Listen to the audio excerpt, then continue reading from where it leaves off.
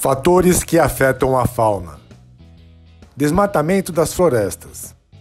O desmatamento é caracterizado pela prática de corte, capina ou queimada por fogo ou produtos químicos, que leva à retirada da cobertura vegetal existente em determinada área para fins de pecuária, agricultura ou expansão urbana.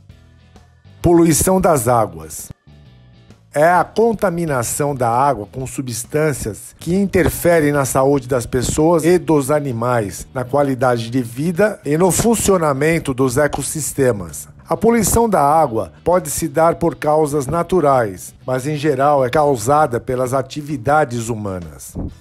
Comércio ilegal de animais.